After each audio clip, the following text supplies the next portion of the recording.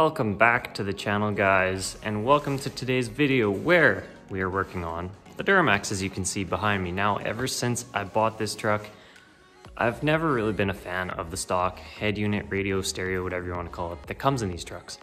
So today we're actually going to be changing that. Now I'm not going to show you the head unit I have just yet. I have it in the house. One of the features I was really looking for when purchasing this deck I wanted something not only with a rear view camera, but also a front view camera. So the first thing I want to do is actually tackle those. So here's what I have. So this is the stock tailgate handle bezel out of a truck with a rear view camera. Now mine doesn't, so I had to find this. And then this is also a stock OEM rear view camera with the OEM plug on the end of it. Now I purchased this, which is just your regular yellow RCA cable that I will be taking the two video wires out of this, hooking it into here, and then the ignition voltage wire is this red one that's tied into it. So that'll also be tied in and then I'll just have to ground it. So that's what I'm doing for the rear. And then for the front, I got this set up off Amazon actually, and it seems like it's a really, really nice piece. So this is actually what I'm using for the front camera. It's actually made out of metal, believe it or not. It's actually really nice. Hopefully the image quality is pretty good. Um, as you can see, it's got an angle on it. So I was gonna try and mount this in the grill somewhere. And then in this bag, you have wiring harness and RCA cable. And then there's a button cord that helps you program it, or not program it, helps you set the image um, zoom and you can shift it one way or the other. And then there's also somewhere in here, there's actually shims that you can put in here. If you don't have it quite the right angle, you can put shims in it. So then you can kind of angle it up, down, whichever way you need it. I'm not overly sure where I'm going to mount it. I want it somewhere around the logo, but when you actually come underneath, of course, they had to cut out these sections, which would have been perfect to mount it on. So I think I'm gonna pull the grill out and then just kind of see what I can do as far as mounting goes. Okay, so here's where I'm at. I have the grill taken out, and then here's the camera. Uh, the way this works, you just have the wire sticking out in the middle of this stud, and then you have one nut that secures it down. So then I built this kind of T-bracket. It's not the prettiest thing in the world. It's built out of aluminum, so it shouldn't rust, shouldn't corrode too bad.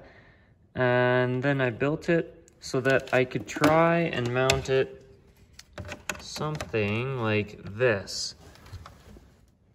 I'm kind of hoping this might work. Yeah, something along those lines, and then it should be facing roughly in the right direction, I'm hoping. So I'm going to try to secure this in here, and hopefully that should do it. And that's what it looks like installed.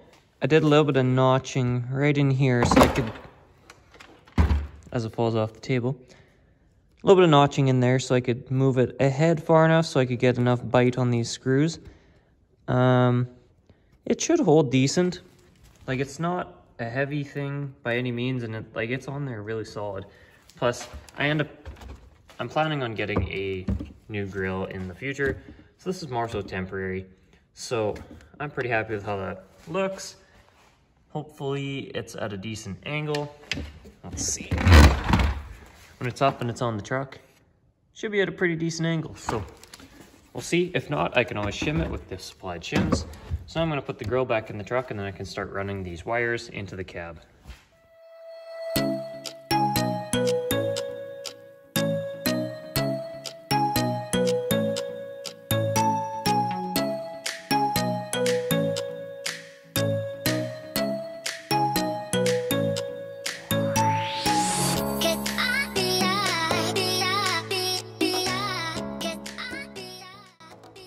With the front camera now installed, I'm going to turn my attention to this rear camera. Now this camera itself is actually out of a Buick Enclave, um, which is why this is so short. Now I need this to be long enough to get outside the bottom of the tailgate and then have this down at the bottom of the tailgate so if I ever pull it off, I want to be able to disconnect this. So I'm going to go ahead and lengthen all six of these wires to be long enough then I'll install this in the tailgate. And then on this end, I will find there's two video signal wires, a positive and a negative. And then those will get wired on to, uh, I'll cut one of the ends off of this RCA and then I'll wire those to those two signal wires. So then I just have this to plug straight into the back of the deck. And then one of these needs to be grounded and then another one needs ignition power. So then I'll have to run it all down the frame and tidy it up nice and get it inside the cab. So that's gonna be my next challenge.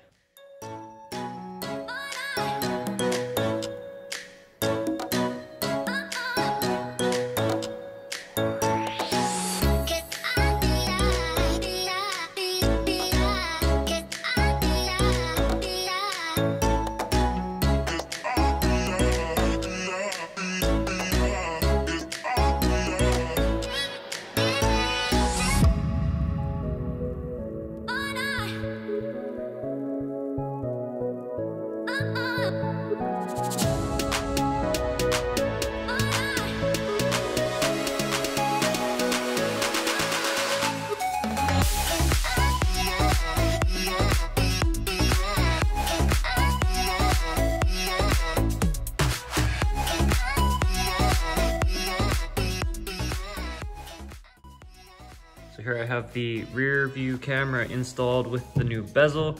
And then I swapped over my lock so it's coded to my key. And then I ran the power wire down the frame rail with the factory wiring. And then it comes up, I have it coming up under the floor mat uh, where the transmission shifter comes out. And then here it is right here. I just have it coming out under the carpet there. And it's like way longer than it needs to be.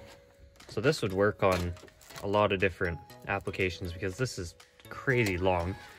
Um, so yeah, I just have the end right here and then it'll get wired up to my deck once it's in there. So the next thing I need to address is the fact that that deck that I'm putting in has a rear USB input. And the USB input is actually very important because that's how your CarPlay and your and your Android Auto works. So here I have this, also off Amazon. It's just a round, I don't know the measurement here. It's just a round um, plug essentially with a USB port in it. And then there's a cap and then a couple nuts for it. And then it also comes with this bracket if you wanted to mount this somewhere. But I'm gonna try and take out one of my cigarette lighters that are under my heater controls and put this in place of it just for a nice clean look and because you don't really need that many cigarette lighters in a truck.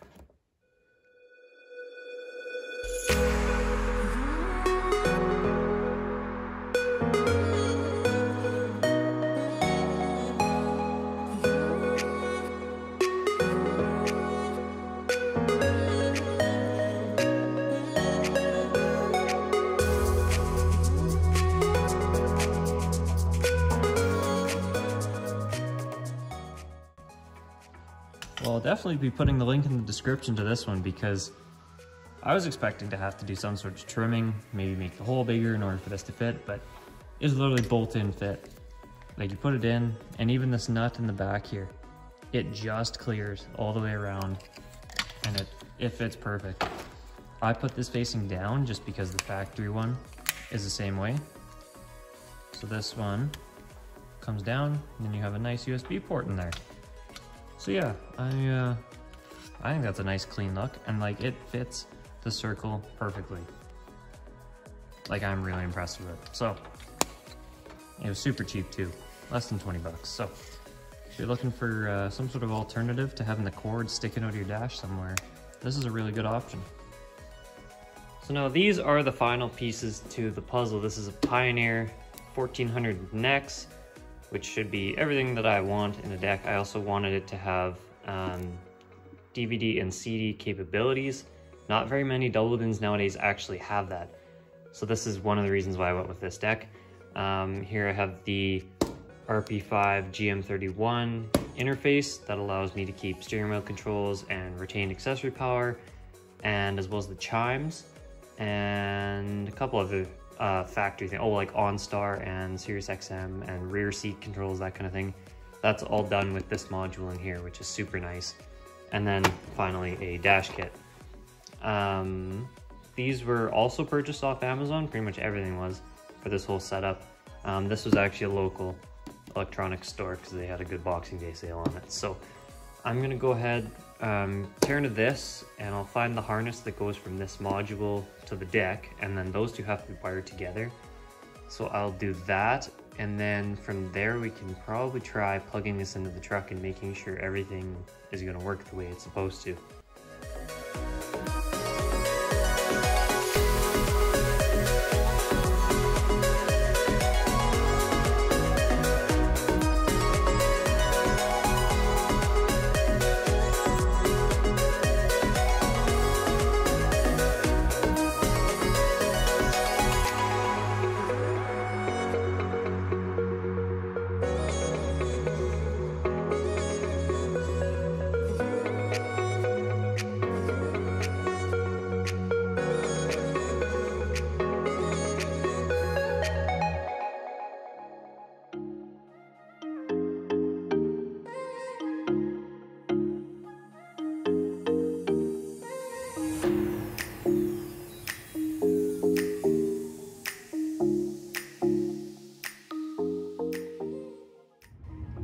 So I have everything in the truck. It's kind of a bit of a mess right now because of this big module and all the wiring that you need.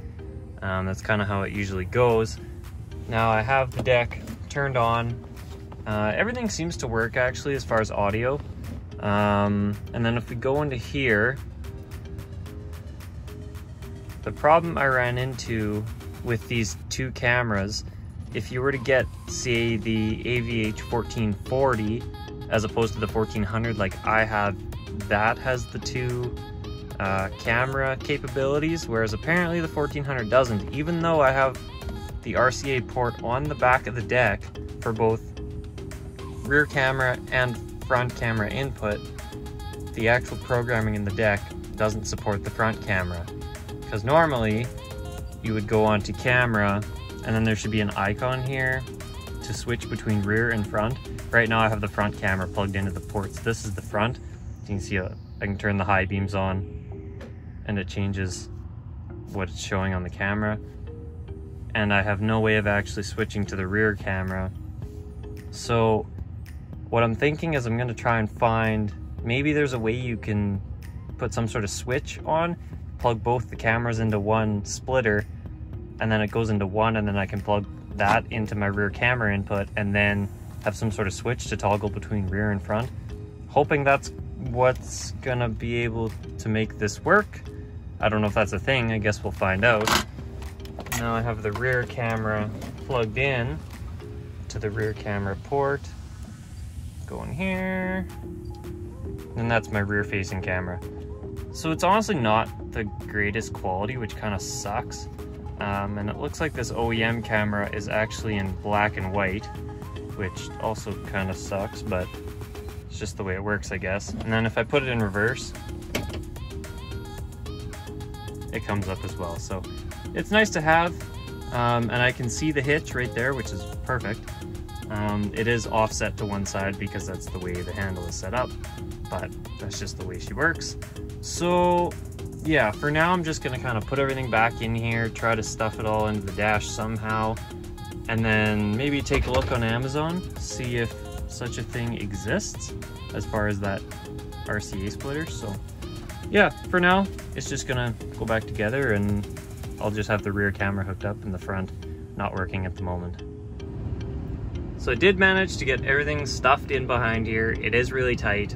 Um, that blue module, I actually kind of have it sitting down here because this is actually only about that deep so I was able to actually kind of fit it in there. Like I said, it is really tight and the couple RCA cables on this side are actually pushing up against the back of the dash.